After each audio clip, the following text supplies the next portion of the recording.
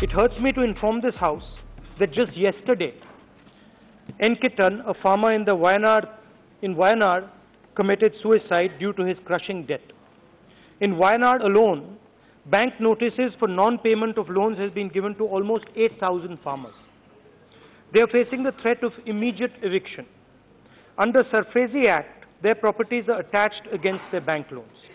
This is resulting in a spate of farmer suicides. सबसे ज्यादा suicide study किसानों ने की है तो इसके पहले की है अध्यक्ष महोदय लेकिन पांच वर्षों के अंदर सुसाइड का नंबर मैं दावे के साथ कह सकता हूं कि कम हुआ है In the last five years, the BJP government gave 4.3 lakh crores in tax concessions and waived 5.5 lakh crores for rich businessmen. Why is this shameful double standard? Why does the government act, Why does the government act as if our farmers are inferior to the rich? यह साल दो साल चार पाँच साल के अंदर ही किसानों की दयनीय स्थिति नहीं हुई है लंबे समय तक जिन लोगों ने सरकार चलाई है किसानों की दयनीय स्थिति के लिए वे लोग जिम्मेदार हैं The Prime Minister has made commitments to these farmers.